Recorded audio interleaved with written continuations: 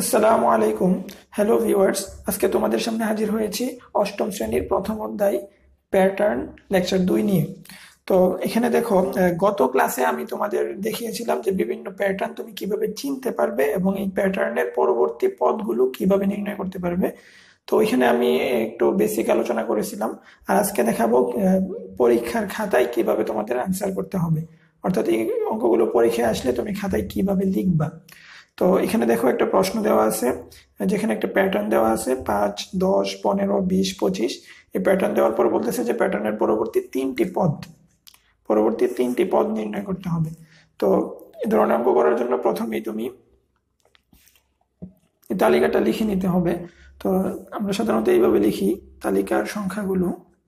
তো তালিকার সংখ্যাগুলো আমি লিখে নিলাম, তারপর অবশ্যই পার্থক্য বের করে নিতে হবে।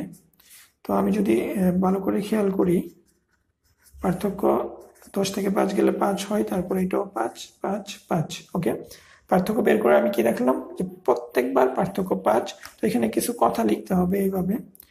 লক্ষ্য করি। প্রতিবার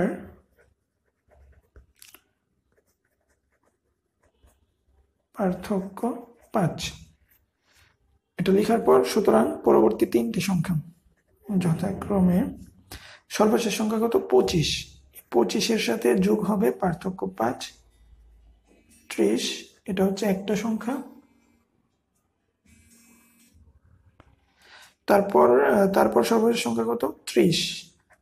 এই ত্রিশের সাথে যোগ হবে পার্থক্য পাঁচ। পাওয়া যাবে দ্বিতীয় সংখ্যাটা। তারপর সর্বশেষ সংখ্যা কত? পঁয়ত্রিশ। এই পঁয়ত্রিশ সাথে যোগ হবে পার্থক্য পাঁচ। পাওয়া যাবে চল্লিশ। এটাই হচ্ছে মানে আমি অঙ্কটা এখানে সলভ করে ফেললাম। আমাকে প্যাটার্নের পরবর্তী তিনটি পদ নির্ণয় করতে বলছিল, আমি এখানে তিনটি পদ নির্ণয় করে ফেলছি। তো আমাদের, আমার অঙ্কটা এখানেই সমাপ্ত। তারপর আমি আরেকটা নতুন প্রবলেম দেখাবো তোমাদের। শিক্ষার্থী বন্ধুরা, এখানে আমরা একটা নতুন সমস্যা দেখতে পাচ্ছি। এখানেও একটা প্যাটার্ন দেওয়া আছে। তারপর বলছে প্যাটার্নের পরবর্তী দুইটি পদ নির্ণয় করার জন্য। তো আমরা এখন দুইটা পদ নির্ণয় করব। তো এই জন্য লিখে নিতে হবে তালিকার সংখ্যাগুলো, তারপর পার্থক্য বের করতে হবে। তো আমি পার্থক্য বের করব। এখানে আট থেকে যদি এগারো বিয়োগ দেই আমার রেজাল্ট আসে মাইনাস তিন। তারপর পাঁচ থেকে আট বিয়োগ দিলে মাইনাস তিন। তারপর দুই থেকে পাঁচ দিলে মাইনাস তিন। আবার এক থেকে দুই বিয়োগ করলেও মাইনাস তিন হয়। আমি একটু দেখাই জিনিসটা যে মাইনাসের এক, এটা থেকে বিয়োগ করব, এই জন্য একটা বিয়োগ চিহ্ন। কত বিয়োগ করব? দুই। তো টোটাল মাইনাসের থ্রি আসতেছে। মাইনাসের থ্রি তো এই প্যাটার্নটা থেকে আমি দেখলাম কি, যে প্রত্যেকবার পার্থক্য মাইনাস থ্রি এটার অর্থ হচ্ছে এই প্যাটার্নটা একটা ক্রমহ্রাসমান প্যাটার্ন ক্রমহ্রাসমান প্যাটার্ন এখানে কমবে আস্তে আস্তে তাইলে এবার আর যোগ করতে পারব না, এবার বিয়োগ করতে হবে। তো একটু লিখে নিতে হবে এইভাবে। লক্ষ্য করি, প্রতিবার পার্থক্য মাইনাস তিন।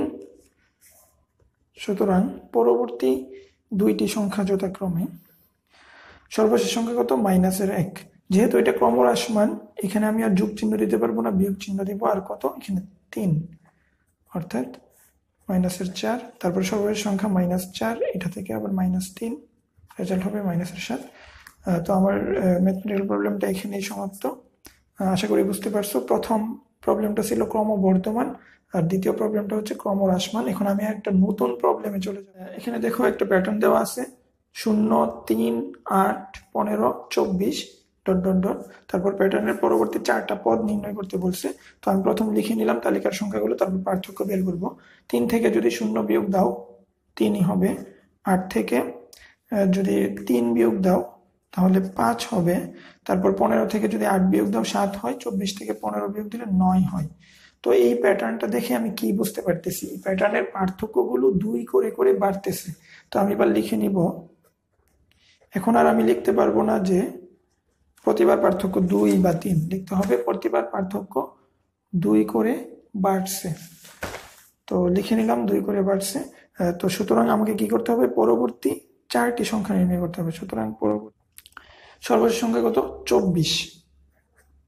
চব্বিশের সাথে যোগ দিব, সর্বশেষ পার্থক্য কত? সর্বশেষ পার্থক্য কিন্তু নয় না। এই নয়ের সাথে আরও দুই যুগ, দুই বেড়ে যাবে ওকে তো চব্বিশ যোগ এগারো, তো সমান কত হচ্ছে? পঁয়ত্রিশ। ওকে? তারপর তার পরবর্তী সর্বশেষ সংখ্যা কত? পঁয়ত্রিশ। তো এই পঁয়ত্রিশ তার সাথে যোগ হবে সর্বশেষ পার্থক্য কত? এখানে, এখানেই তো পার্থক্য ছিল এগারো। তো এগারোর সাথে আরও দুই বেড়ে যাবে। তো এগারো যোগ দুই, অর্থাৎ পঁয়ত্রিশ যোগ তেরো হয়ে যাবে আটচল্লিশ। তারপরের সংখ্যা যদি আমি নির্ণয় করতে চাই এখানে সর্বশেষ সংখ্যা হচ্ছে আটচল্লিশ। আর এই যে পার্থক্য তেরো এর সাথে আরও দুই যোগ অর্থাৎ পনেরো হবে সর্বশেষ পার্থক্য তাইলে তেষট্টি তো এরপরের সংখ্যা যদি আমি নির্ণয় করতে চাই তাহলে তেষট্টি যোগ সর্বশেষ পার্থক্য পনেরো। আহ, এটা ছিল এর আগের জন্য এবার এর সাথে আরও দুই যোগ। তো তেষট্টি যোগ সতেরো সত্তর আশি। আমাকে চারটা পদ নির্ণয় করতে বলছিল, আমি চারটা পদ নির্ণয় করছি, তো এখানে প্রবলেমটা এখানে সমাপ্ত, তারপর আমি নতুন আরেকটা প্রবলেমে যাব এবার। এখানে একটা প্যাটার্ন দেওয়া আছে, দুই, চার, আট, ষোলো, বত্রিশ। এই প্যাটার্নের পরবর্তী তিনটি পদ নির্ণয় করতে বলছে, তো প্যাটার্নটা বোঝার জন্য আমি পার্থক্য বের করে নিব। পার্থক্য হচ্ছে দুই, চার, আট, ষোলো। ভালো করে যদি খেয়াল করো, দেখবা যে পার্থক্যগুলো দ্বিগুণ হচ্ছে। দুইয়ের দ্বিগুণ চার, চারের দ্বিগুণ আট, আটের দ্বিগুণ ষোলো। তো আমি এখানে লিখতে হবে, লক্ষ্য করি। প্রতিবার পার্থক্য দ্বিগুণ হচ্ছে কথাটা লিখে নিতে হবে, দ্বিগুণ হচ্ছে। তো আমাকে তিনটা পদ নির্ণয় করার জন্য সুতরাং পরবর্তী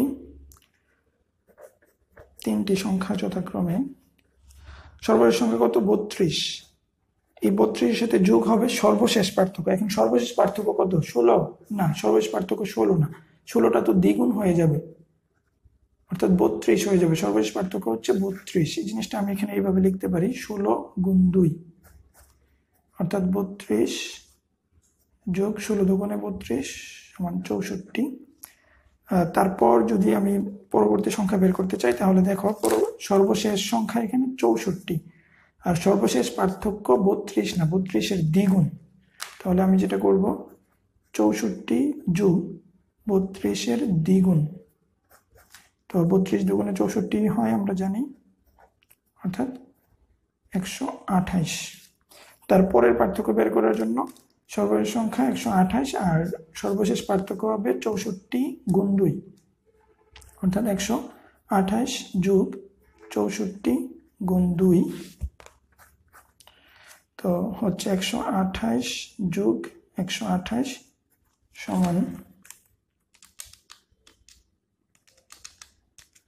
দুইশো ছাপ্পান্ন। পরবর্তী তিনটা পদ আমি নির্ণয় করে ফেললাম। আমার এই ম্যাথমেটিক্যাল প্রবলেমটা এখানেই সমাপ্ত। শিক্ষার্থী বন্ধুরা, খেয়াল করো, এখানে একটা প্যাটার্ন আছে। এক, পাঁচ, ছয়, এগারো, সতেরো, আঠাশ। এই প্যাটার্নের পরবর্তী চারটি পদ নির্ণয় করতে বলা হচ্ছে। তো আমি প্যাটার্নটা লিখে নিলাম। তো প্রথমে আমরা পার্থক্য বের করব। পার্থক্য দিয়ে যদি প্যাটার্ন চিনতে না পারি, তাহলে যোগফল বের করব।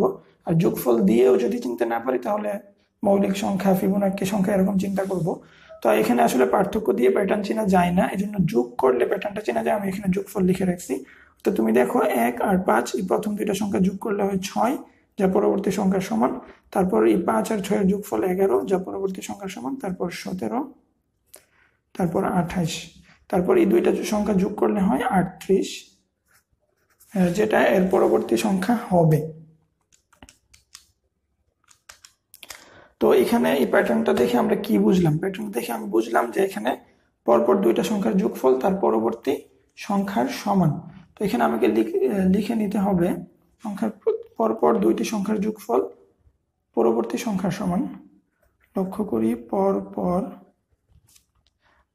এখন আমি প্যাটার্নটা চিনে ফেলছি, এবার আমি পরবর্তী চারটা সংখ্যা নির্ণয় করব। তো সুতরাং পরবর্তী চারটি সংখ্যা যথাক্রমে সর্বোচ্চ সংখ্যা কত?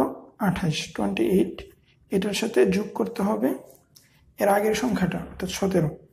কারণ এই প্যাটার্নটার নমুনা হচ্ছে পরপর দুইটা সংখ্যার যোগফল, তার পরবর্তী সংখ্যার সমান। অর্থাৎ যোগ করলে আটত্রিশ হবে।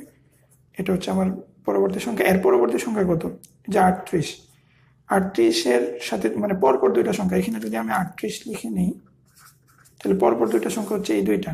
তাহলে আমি আটত্রিশের সাথে যোগ করব আঠাইশ যোগ করলে পাওয়া যাবে পরবর্তী সংখ্যা আট, আমি ক্যালকুলেটর দিয়ে হিসাব করতেছি, আটত্রিশ যোগ আঠাশ, ছেষট্টি আসতেছে।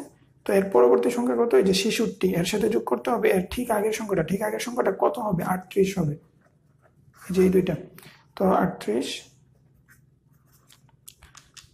আটত্রিশ সরি, আটত্রিশ, তিন আট আটত্রিশ, একশো চার হয়। তো এর পরবর্তী সংখ্যা যদি আমি নির্ণয় করতে চাই, অর্থাৎ এই দুইটা যোগ করতে হবে এবার, অর্থাৎ একশো চার যোগ ছেষট্টি যোগ করলে হয় একশো সত্তর। তো এটাই হচ্ছে আমাদের এই পরবর্তী সংখ্যা নির্ণয়ের নিয়ম। তো এখানে ম্যাথমেটিক্যাল প্রবলেমটা শেষ। তারপর আমার হাতে সর্বশেষ আরেকটা ম্যাথমেটিক্যাল প্রবলেম আছে, যেটা নিয়ে আমি আমরা কি করি? প্রথম দেখি যে পার্থক্য বের করে দেখি। পার্থক্য বের করে কাজ না হলে যোগফল বের করি। যোগফলেও যদি কাজ না হয়, তখন আমরা ফিবোনাক্কি বা মৌলিক সংখ্যা এগুলো নিয়ে চিন্তা করি। তো এখানে আমি পার্থক্য বের করি। এক থেকে এক বিয়োগ দিলে হয় শূন্য। তারপর দুই থেকে এক এক এক, দুই, তিন, পাঁচ। এগুলোই হচ্ছে পার্থক্য। তো তোমাদের আমি বলেছিলাম যে ফিবোনাক্কি তুমি যদি দেখো যে কোনো একটা প্যাটার্নের প্রথম দুইটা ডিজিট হচ্ছে শূন্য এক, তাহলে বুঝে নিবা এটাকে ফিবোনাক্কি সংখ্যা প্যাটার্ন তো আমরা এই প্যাটার্নটা দেখে বুঝে নিলাম যে এটা একটা ফিবোনাক্কি সংখ্যা প্যাটার্ন আর ফিবোনাক্কি সংখ্যা প্যাটার্নের একটা বৈশিষ্ট্য কি? একটা বৈশিষ্ট্য হচ্ছে প্রথম দুইটা দিয়ে শূন্য এক হবে, আরেকটা বৈশিষ্ট্য হচ্ছে ফিবোনাক্কি প্যাটার্নের পাশাপাশি দুইটা সংখ্যার যোগফল তার পরবর্তী সংখ্যার সমান হবে। অর্থাৎ আমরা এখানে যে প্যাটার্নটা তৈরি করব, এর পরবর্তী সংখ্যাগুলো এইভাবে হবে। যেমন এই যে এই দুইটা সংখ্যা, এই দুইটা সংখ্যা যোগ করলে এর পরবর্তী সংখ্যাটা পাওয়া যাবে। এভাবেই হবে। এটা আমি করে দেখাচ্ছি। এবার একটু লিখে নিতে হবে যে লক্ষ্য করি।